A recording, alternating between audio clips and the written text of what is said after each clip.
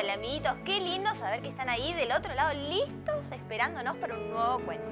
La escritora de hoy se llama Cecilia Pisos y las ilustraciones son de O'Keeffe y juntos crearon Concurso Hechizado. ¿Escuchamos a Quillén y descubrimos de qué se trata? Espejito, espejito, ¿quién es la brujita más linda de la cuadra? Del barrio, del país, del mundo y del universo. Le preguntó Guadalupe sin verruga a su imagen en el espejo del viejo ropero de las tías. Ay, ¿no te parece que exageras un poco, Guadita? Le hizo ver Poli, su polilla mascota. Ni la reina mala de Blancanieves se creía tan súper hermosa, ¿eh? Pero Guadalupe no le hacía caso y se volvía a mirar y a mirar mientras se peinaba el flequillo con una de las escobas de su colección mágica. Y después cantaba a voz en cuello. Para ser una buena bruja se necesita una escoba que vuele, una escoba que vuele. Y mil escobitas, y arriba, y arriba, y arribaré. Yo volaré y volaré. Guadalupe sin verruga era bruja, sobrina de dos tías brujas, Meche y Lola, y vivía con ellas en un tranquilo barrio de la ciudad. De día iba a la escuela y su mejor amigo era Nacho. Pero amigas o amigos brujos de su edad no tenía ninguno. Siempre se quejaba de eso, y aquel día frente al espejo también. Ay, si tuviera una bruja amiga para contarle mis secretos. Menos mal que estás vos, Poli. Si no, me saldrían por las orejas los hechizos, las pócimas, los trucos que se me ocurren todo el tiempo para demostrarles a las tías el poder de mi magia. ¡Auch! ¿De tu magia ouch, guadita? ¿Qué es la magia ouch? ¡Auch! ¡Auch! ¡Auch! Dio por toda respuesta aguada y enseguida agregó, ¿No lo ves, Polly? Ahí, en el fondo del espejo. Primero me picó la cabeza y ahora se fue a posar en el balconcito de la casa de enfrente, esa donde se mudaron los vecinos nuevos. ¡Ah, sí! Un dulce y tierno cuervo. No te quejes tanto, te habrá dado un besito medio fuerte, pero nada más. Sí, Polly, ¿Pero no te parece un poco raro ese cuervo acá en el barrio? Tan diferente de los gorrioncitos y de las palomas, y con esos ojos amarillos. Cuervo, cuervo, que yo recuerde, pensaba y revoloteaba Polly chocándose contra la tapa del libro donde vivía. ¡Ya sé!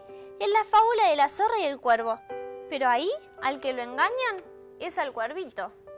Le hacen abrir el pico para cantar y así suelta un pedazo de queso que tenía para la cena y se lo come la antipática de la zorra. Metete, Poli, que vuelve, le avisó Guadalupe a su mascota, mientras cerraba justo la ventana y el cuervo hacía plaf y se resbalaba con ruido a vidrio raspado y pluma desplumada. ¡Ay, eso estuvo cerca! reconoció Poli patinándose entre las páginas de su libro. ¿Viste? Ahora me das la razón, ¿no? Algo raro tiene ese cuervo. Venía directo hacia mi cara cuando le cerré la ventana. Pero, ¡ay! ¿Vos agarraste mi escobita de peinarme el flequillo? La tenía recién en la mano. Mira dónde está ahora, Guada, le dijo Polly señalándole el balcón de enfrente donde el cuervito inocente se había enrulado las plumas de la cola. ¡Guau! ¡Qué rabia! soltó Guadalupe subiéndose a la escoba de volar pero justo cuando agarraba la casa libro de Polly para tener compañía, sonó el timbre. Siempre suena el timbre en tus cuentos y pasa algo, Guadalupe, se quejó Polly. Dale, sigamos, agárrate fuerte. Guadalupe y Polly levantaron vuelo por encima de la cama, abrieron la puerta y bajaron rasantes con la escoba por la escalera hasta el comedor. Pero cuando ya tomaban envión para salir volando por el patecito de atrás, sonaron juntas las voces de las tías. Guadalupe, mira quién vino a visitarnos. Y luego tres voces extrañas que se escucharon más bien como chillidos. Malas tardes, mucho susto, hechizada. Guadalupe se dio vuelta con sobresalto. Esos eran saludos típicos de los amigos de las tías. Hoy sonamos, pensó. Había reunión y me olvidé. Venía a saludar a nuestros nuevos vecinos, Guadita. Te vas a llevar una sorpresa. ¿Serán los de enfrente? No puedo creer que además sean brujos, pensó Guada.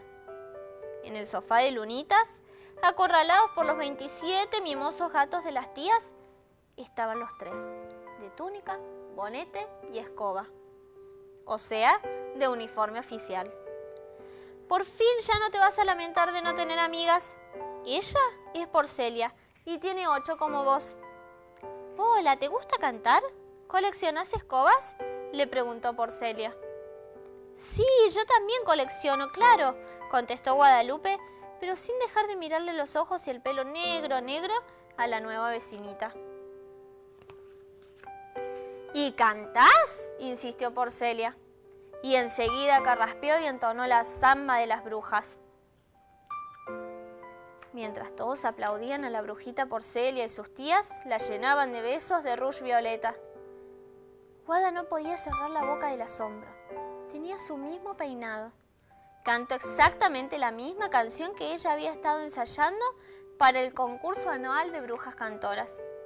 Y esos ojos amarillos, ¿dónde los había visto antes? En ese momento Polly se le metió en la oreja y le sopló. ¡Aplaudí, Wadi! ¡Hacete amiga! Tal vez por eso Guadalupe sin pensarlo dijo, ¿y si nos presentamos juntas en el concurso? Yo también me la sé a esa canción. En un microminuto se arrepintió al escuchar a los padres brujos.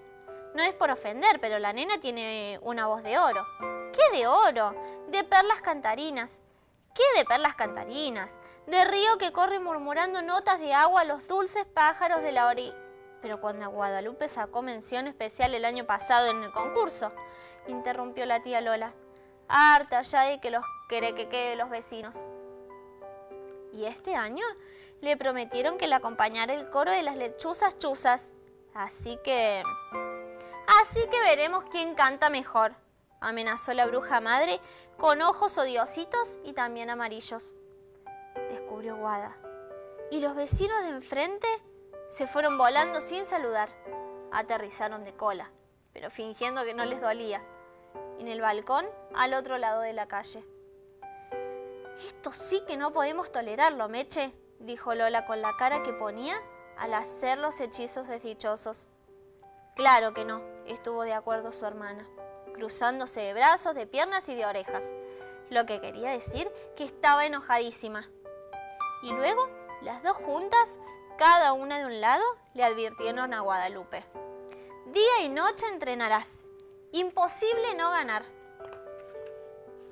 Y desaparecieron por el lado de la cocina.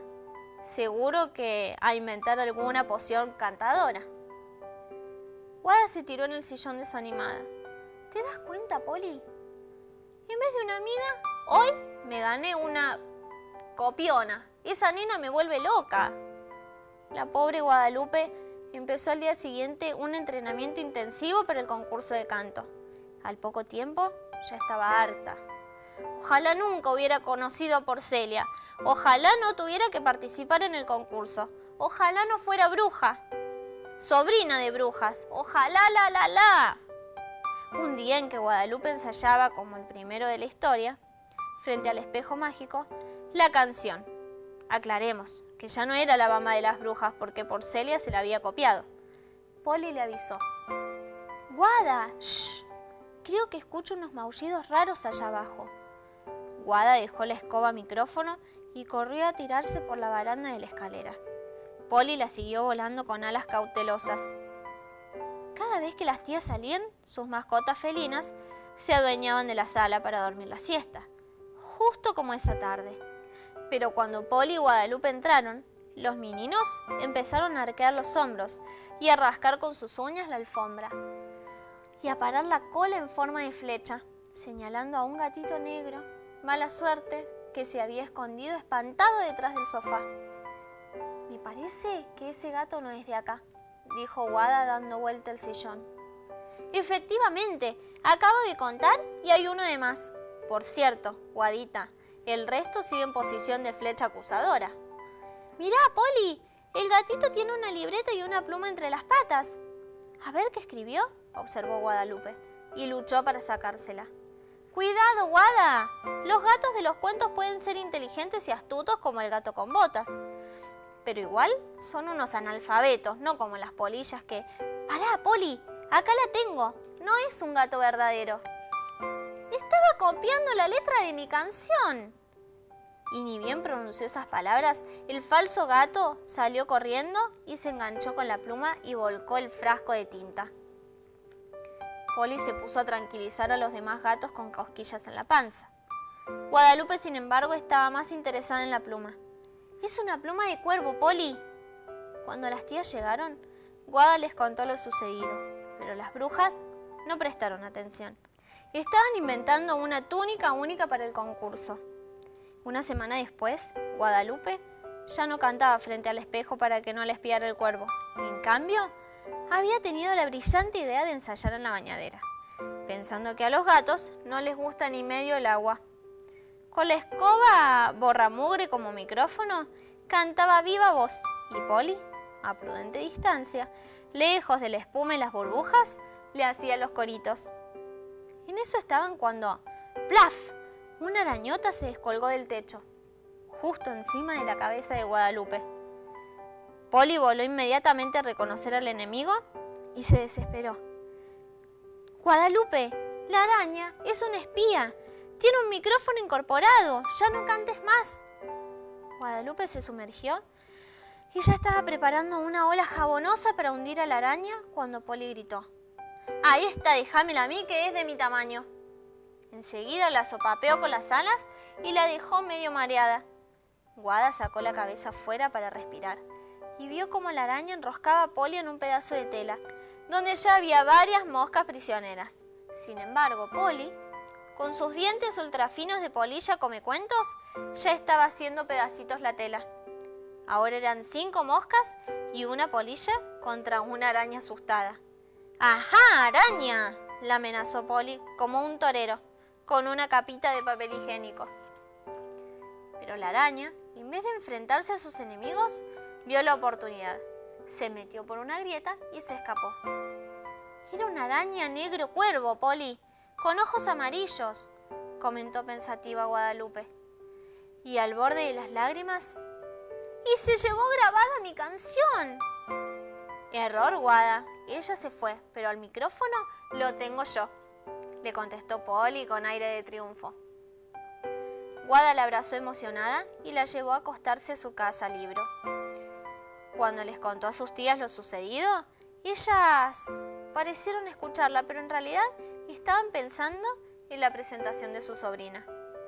Dos días antes del concurso ya las tías tenían solucionado el tema de la túnica y el de los efectos especiales, y se habían puesto ansiosas otra vez. Por eso, cuando Guadalupe llegó de la escuela, con Nacho, su compañero de banco, le advirtieron señalando con índice filoso. Hacen los deberes rapidito y luego, Nacho, te vas, que Guadalupe tiene que ensayar este, dormir la canción o más bien cantar la siesta. Los chicos se fueron al cuarto de Guada y allí Nacho, apenas cerraron la puerta, le preguntó enojado. ¿De qué canción están hablando? Soy tu mejor amigo y no me contaste nada. Y se sentó con los brazos cruzados, la boca fruncida y las cejas hechas un enojo de pelos. Ay, Nachito, perdona, pero es que es un concurso súper secreto. Las tías me dijeron mil veces que no le contara a nadie, le contestó Guada.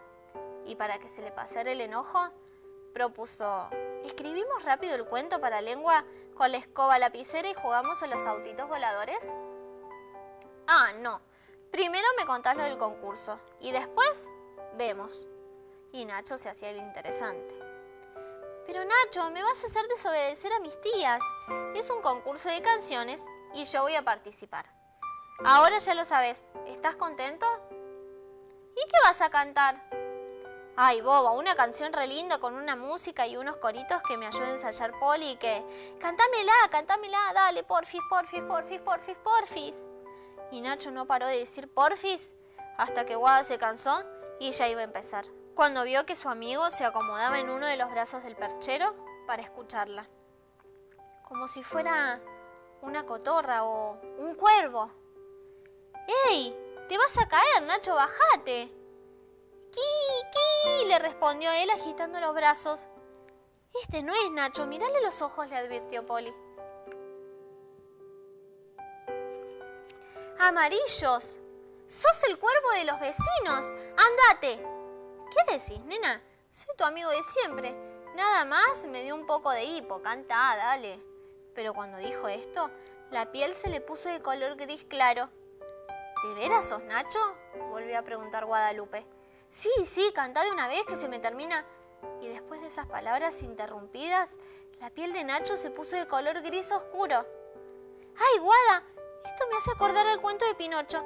Cada vez que Nacho dice una mentira, en vez de crecerle la nariz, se pone más oscuro, mira. Guadalupe miró, y en ese momento la piel de Nacho era de color negro. Mentira, gorda. Miró otra vez, más fijo, porque no podía creerlo, y a Nacho le crecieron pico y plumas. Cuando miró por tercera vez, Nacho había salido volando por la ventana y se metía en la casa de los vecinos. nos salvamos, Guada. El cuervo se había convertido en Nacho. Sí, ya me di cuenta de eso. Y lo que quiero saber es quién es el cuervo, aunque ya un poco me lo imagino.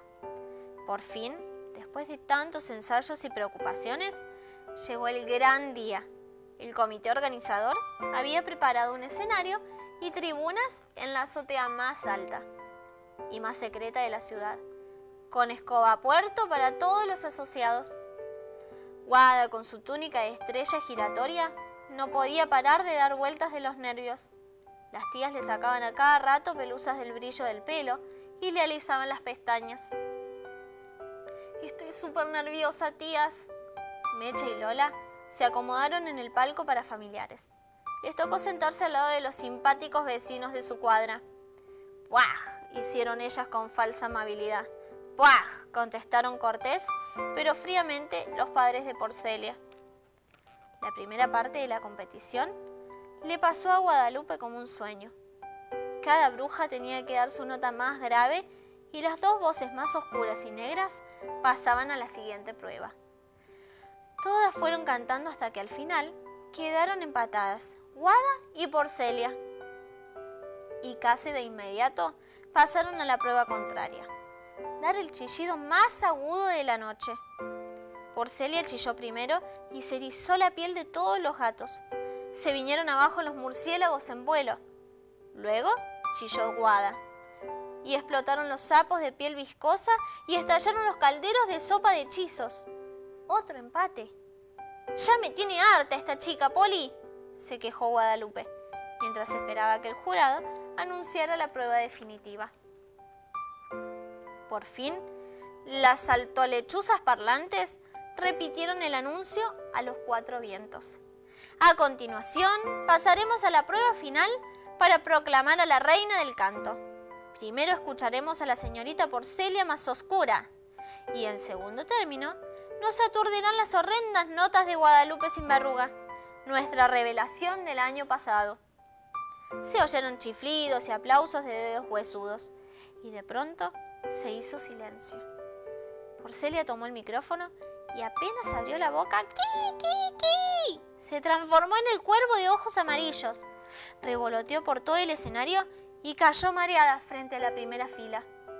Intentó cantar otra vez y le salió un maullido largo, mientras le crecían el pelo, la cola y los bigotes. Horrorizada, Porcelia Gato se subió otra vez para seguir con su actuación. Pero le aparecieron cuatro patas más y se le afinó la cintura. Porcelia Araña caminó por todo el escenario enredándose en su propia tela. El público aplaudía a rabiar. No le importaba que no hubiera oído ni una sola nota de la canción. Estaban fascinados con esas transformaciones. Guadalupe se retorcía las manos de los nervios. Las tías Buscaban hechizos en los bolsillos, pero solo encontraban pelusas y botones descosidos. Hasta que Polly infló sus pulmoncitos de polilla y gritó: ¡Nacho! ¡Pinocho! ¡Pinacho! Y Porcelia Araña se convirtió en Nacho. Miró a su alrededor, al horrible público que estaba expectante, y le agarró un ataque de susto y pánico que la dejó muda. Sus padres desesperados le cantaban desde la tribuna con gestos mudos, la canción. Pero fue inútil. Porcelia ya no podía volver a su forma y el jurado la dejó fuera de categoría. no se admitían principiantes humanos en el concurso. Era por fin el esperado turno de Guadalupe. Guada miró a las tías que le sonreían con sus dientes negros. Luego chasqueó los dedos y el coro de las lechuzas chuzas se acomodó a su alrededor. Por último, miró a los miembros del jurado que le levantaron unos largos pulgares en señal de aprobación. Pero entonces vio a Porcelia Nacho tratando de esconderse entre los pliegues del telón y se decidió. Hizo un pase con su vestido de estrella giratoria y todos quedaron enseguecidos por el brillo. Mientras nadie veía, tomó de la mano a Porcelia Nacho y le hizo dar una vuelta en el aire, justamente para invertir el hechizo. De Nacho se volvió araña y de araña gato y de gato cuervo y de cuervo... Sí, era ella, pensó Guadalupe, Porcelia. Cuando terminó la vuelta, el público quedó frente a un dúo de brujitas, brillantes y nerviosas, que cantaron la bamba de las brujas, porque esa canción sí que se la sabían las dos. Y con el último verso de la bamba, que todos los brujos coreaban enloquecidos con velitas negras en las manos, Guadalupe sacó la escoba de fuegos artificiales que le habían hecho las tías y ambas se subieron. En un segundo, estallaron luces de todos los colores sobre la azotea, en medio del cielo, mientras las dos, por fin, amigas, se alejaban. Al día siguiente, mientras Guadalupe tomaba el desayuno, que sus orgullosas tías le habían llevado a la cama, Polly le preguntó, ¿Se puede saber por qué la ayudaste? Y yo quiero tener una bruja amiga. Polly, no te enojes, pero a veces necesito hablar con alguien como yo. Además, eran sus padres los que la mandaban a espiar. Ella es muy tímida. Entiendo, entiendo, dijo Polly haciéndose la ofendida. Pero enseguida pidió, Guadita, dale, cantame otra vez como cantaste ayer con Porcelia. Y Guadalupe Dejó el pedacito de tostada que estaba a punto de llevarse a la boca. Ya iba a entonar cuando Polly recogió la tostada de la servilleta y se alejó hacia su libro riéndose, igualito que en la fábula de la zorra y el cuervo. Y colorín colorado, este cuento se ha terminado. Me encantó el cuento, Quillen. Seguro que a los chicos todavía siguen maravillados por lo que les contaste. Esperamos que vuelvas con más cuentos como este. Ahora nos despedimos. Chao amiguitos.